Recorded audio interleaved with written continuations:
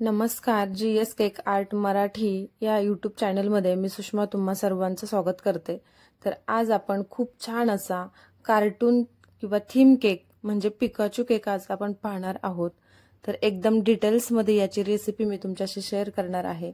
तर video skip न करता तुम्ही पूर्ण बघा. एकदम छान असा हा कार्टून केक आहे. लहान मुलांना कार्टून केक खूप आवडतात. तर चला तर त्याची आपण रेसिपी बघूया. इथे हा माझा पिस्ता फ्लेवरचा हा केक होता. त्यासाठी मी क्रीम बीट केलेली क्रीम घेऊन त्यामध्ये पिस्ता फ्लेवर म्हणजे पिस्ताचं इमल्शन मी इथे यूज केलेलं आहे आणि थोडासा पिस्ताचा क्रश मी इथे वापरलेला आहे. तर हा आपला अडीच किलोचा केक आहे. त्यामुळे मी हा खालचा दोन किलोचा स्पॉन्ज मी बेक करून घेतलेला आहे. आणि त्यानंतर मी एक किलोचा स्पॉन्ज म्हणजे टू लेअरमध्ये आपण हा केक आज बघणार आहोत. तर व्यवस्थित आपल्याला हे कट करून घ्यायचा आहे स्पॉन्ज. तर एकदम व्यवस्थित चार किंवा पाच लेअरमध्ये आपल्याला हा केक करायचा आहे. म्हणजे केकला व्यवस्थित हाईट आली पाहिजे. केकला व्यवस्थित हाईट असेल तर आपला केक खूप छान दिसतो. त्याला आपल्याला हवी ती आपल्याला डिझाईन करता येते. म्हणजे कार्टून केक थीम केक असतील तर थोडेसे आपल्याला हायटेड केक बनवावे लागतात. आणि इथे म्हणजे व्यवस्थित लुक येतो आपल्या केकला तर इथे बघा मी आपल्या रेग्युलरप्रमाणे स्पॉन्ज घेतलेला आहे. त्यावरती शुगर सिरप लावून घेतलेला आहे. आणि आपली ही पिस्ता फ्लेवरची क्रीम मी इथे तयार केलेली आहे. तर ती आपण आयसिंग करण्यासाठी वापरणार आहोत. पॅलेट नाईपने ही एकदम व्यवस्थित आपल्याला स्प्रेड करून घ्यायची. आणि त्यानंतर ठरल्याप्रमाणे आपलं केशर पिस्ताचं क्रश मी इथे घालून घेतलेलं आहे. असं आयसिंग करताना क्रश वगैरे व्यवस्थित घातलं ना तर खूप छान टेस्ट येते आपल्या केकला आपण क्रीममध्येही आधीच घातलेलं होतं क्रश पण ते थोडंसं घातलं होतं. त्यानंतर लेअरलाही आपण प्रत्येक लेअरला थोडं थोडं करून हा पूर्ण केक आपण कव्हर करणार आहोत. म्हणजेच व्यवस्थित आपल्याला आयसिंग करून घ्यायचं आहे.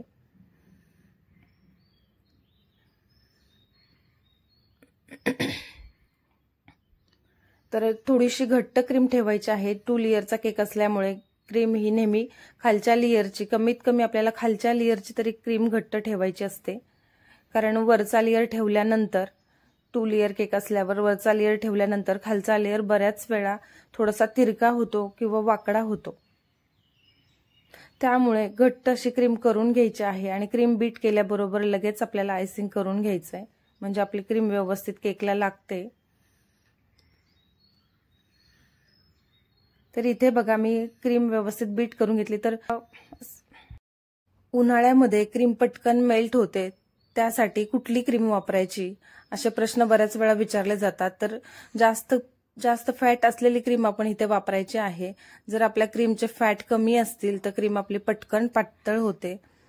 आणि कुठल्या कंपनीची घ्यायची कंपनीचं असं काही नाहीये. तर क्रीम आपण जास्त फॅट असलेली क्रीम घ्यायची म्हणजे व्यवस्थित आपल्याला बीट करता येते आणि ती जास्त वेळ आपली घट्ट राहते. तर ती फेटायची कधी ठेवायची कुठे हे सगळ्या प्रश्नांची मी आज तुम्हाला उत्तरं देणार आहे.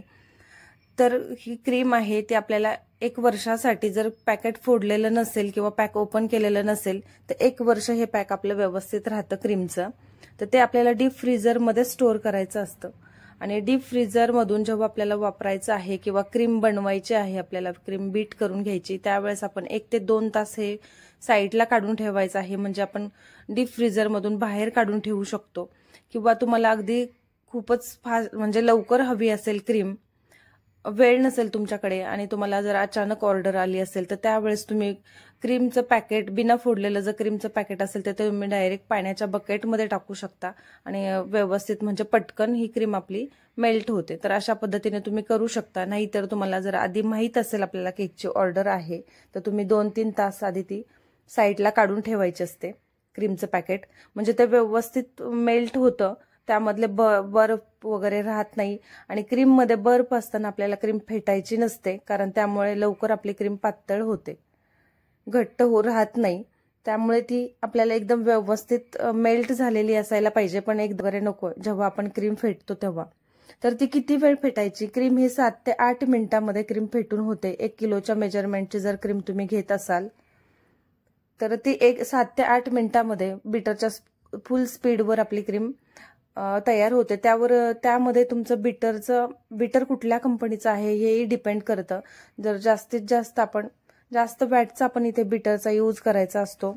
कमी कमी वॅटचं जर बिटर असेल तुमचं तर क्रीम व्यवस्थित होत नाही आणि ते जेव्हा आपण करतो त्याच वेळेस ते बीट हो सॉरी मेल्ट व्हायला लागते.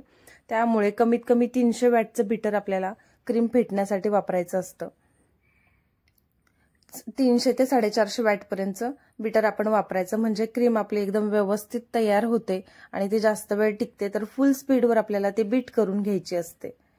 तर इथे बघा माझा हा पहिला लेअर जो आहे तो व्यवस्थित आयसिंग करून झालेला आहे आणि तो आता मी बोर्डवरती शिफ्ट करून घेते आणि हा व्यवस्थित काढून घेतलेला लेअर आपण पंधरा ते वीस मिनिट व्यवस्थित व्यवस्थित आपल्याला हा सेट करून घ्यायचा आहे. म्हणजे की जरी आपण दुसरा लेअर त्यावरती ठेवला तरी केक आपला ॲज इट इज राहिला पाहिजे म्हणून तो व्यवस्थित सेट करून घ्यायचा आहे. तर इथे बघा मी दुसरा लेअरला आयसिंग करून घेत आहे. तर सेम पहिल्या लेअरला ज्या पद्धतीने आपण आयसिंग केलं त्याच पद्धतीने आपण ही आई लेअरला आयसिंग करून घेतलेलं आहे. आणि याला हाही मी आधी थोडा वेळ सेट होण्यासाठी केक ठेवला होता. तर याला पण आयसिंग करून आपण तो पहिला जो आपण केक बनवला आहे त्यावरती आपण ठेवून टू टायरचा केक आपण इथे बनवणार आहोत. एकदम प्लेन फिनिशिंग करून घ्यायचं आहे पॅलेट नाईपच्या साह्याने आणि स्क्रॅपरने आपल्याला व्यवस्थित साईडची फिनिशिंग करून घ्यायची आहे.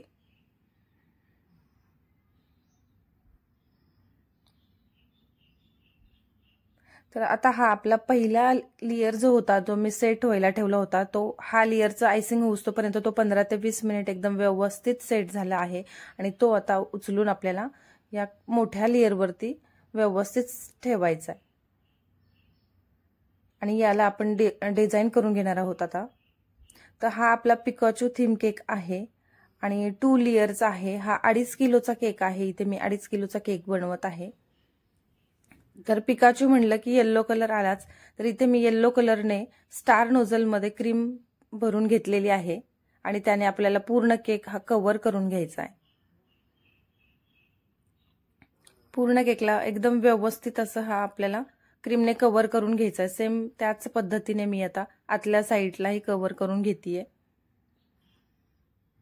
आणि याच नोझलने म्हणजे आपण जेव्हा थीम केक बनवतो तर एकाच नोझलने पूर्ण केक आपल्याला कव्हर करून घ्यायचा असतो. म्हणजे आपल्या केकचा लुक एकदम व्यवस्थित सेम टू सेम डिझाईन दिसते.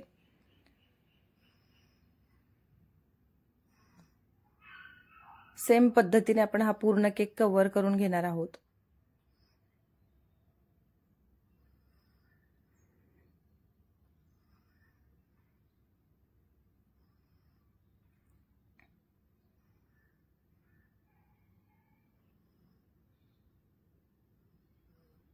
साईडलाही आपण अशाच पद्धतीने याच नोझलने सेम नोझलने साईडलाही आपल्याला डिझाईन करून घ्यायची. आहे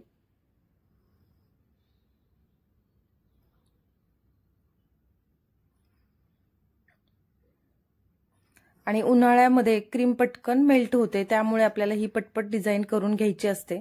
जास्त वेळ लागला तर आपली क्रीम ही व्यवस्थित राहत नाही आणि त्यामुळे आपल्याला डिझाईन एकसारखं सेम करता येत नाही. त्यामुळे ही डिझाईन. आणि ह्या वेळ या अशा थीम केकला खूप वेळ लागतो. त्यामुळे आपण जर क्रीम बीट करून ठेवलेली असेल कलर त्यामध्ये जर मिक्स केलेला असेल तर थोडीशी जेवढी लागते तेवढी क्रीम आपण पायपिंग बॅगमध्ये भरून घ्यायची आणि ती राहिलेली क्रीम आपण फ्रीजमध्ये ठेवून घ्यायची. म्हणजे आपली क्रीम जास्त वेळ व्यवस्थित राहते आणि आपल्याला हवी तशी डिझाईन करता येते. तर सेम नोझलने मी इथे वरती ज्या येल्लो कलरचं जे मी डिझाईन काढलं होतं त्याच नोझलने मी त्याच नोझलमध्ये मी हा इथे रेड कलर भरून घेतलेला आहे. आणि रेड कलरनेही मी कस्टमरने आम्हाला अशा प्रकारची डिझाईन त्यांना हवी होती. सेम केक त्यांना पाहिजे होता. त्याच पद्धतीने आपण हा केक बनवत आहोत. तर त्यासाठी वरती रेड कलर आहे आणि त्यानंतर आपल्याला खाली व्हाईट कलरने डिझाईन करून घ्यायची. तर इथे बघा मी त्याच सेम नोझलमध्ये व्हाईट कलर भरलेला आहे. म्हणजे व्हाईट कलरची व्हिप क्रीम घेतलेली आहे. यामध्ये मी कुठलाही कलर वगैरे ऍड केलेला नाहीये. आणि त्याने मी साईडला म्हणजे खालच्या साईडची डिझाईन करून घेत आहे. पूर्ण केक आपण अशा पद्धतीने कव्हर करून घेतलाय.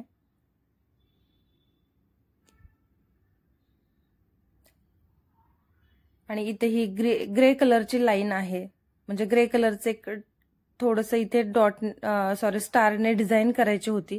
तर त्यासाठी आम्ही ब्लॅक कलर घेतला होता विपक्रीममध्ये ब्लॅक कलर हा जेव्हा आपण विपक्रीममध्ये मिक्स करतो तेव्हा ब्लॅक न राहता तो ग्रे दिसतो. म्हणून इथे बघा व्हाईट कलरच्या क्रीममध्ये आम्ही ब्लॅक कलर टाकून असा हा ग्रे कलर तयार केला होता. आणि हे आपलं फायनल डेकोरेशन झालेलं आहे. तर आपल्याला यामध्ये नंतर पिकाचूचे नाक डोळे कान असे पार्ट सर्व लावून घ्यायचेत. तर इथे बघा आम्ही हा टॉपर्स तयार केला होता. घरच्या घरी हा टॉपर्स पेपरचा टॉपर्स आम्ही तयार केलाय. या ठिकाणी आम्ही चॉकलेट कंपाऊंडचा पण करू शकलो असतो पण हा केक कस्टमरला बाहेर घेऊन जायचा होता. आणि तो जास्त वेळ बाहेर राहिला तर कंपाऊंड मेल्ट होऊ शकतं आणि त्याचे काना म्हणजे जेव्हा जर त्याचे कान आम्ही तयार केले असते कंपाऊंडचे व्हाईट कंपाऊंडचे वगैरे आपण करू शकलो असतो पण ते बाहेर घेऊन जाताना जास्त वेळ जर हा केक बाहेर राहिला असता म्हणजे खूप वेळ लागला असता तर याचे तुकडे पडले असते. त्यामुळे हे आम्ही पेपरचे टॉपर्स तयार केले आहेत. आणि त्याने आपण कान तयार करून घेतलेले आहेत पिकाचूचे. तर त्याच पद्धतीने डोळे नाक गाल आणि जीभ हे सर्व पार्ट आम्ही हे फॉन्डंटने तयार करून ठेवले होते आधीच. फॉन्डंट कट करून घेतलेला आहे आणि त्याच त्यानेच हे आपण पिकाचूचे पार्ट तयार करून घेतलेले आहेत. तर ही छोटीशी जी आहे ते छोटंसं जे आहे ते फॉन्डंटचं नाक आहे. तर रेड कलरचे आणि रेड कलरचे जे आहेत मधला ते जीभ आणि साईडचे जे आहेत ते गाल. असं हे पूर्ण केकचं डेकोरेशन फॉन्डंटने आम्ही आधीच तयार करून ठेवलं होतं. म्हणजे त्याचे पार्ट आम्ही आधीच तयार करून ठेवले होते. आणि बड्डे बॉयचं नाव आहे तेही आम्ही फॉन्डंटनेच तयार करून घेतलं होतं. खालचं जे आहे ते फॉन्डंटने तयार केलं आणि त्यावरती इडेबल पेन जो असतो त्याने हे मुलाचं आम्ही नाव लिहिलं होतं. अशा पद्धतीने आपला हा पूर्ण केक बनवून झालेला होता. तर तुम्हाला हा केक कसा वाटला तो नक्की सांगा.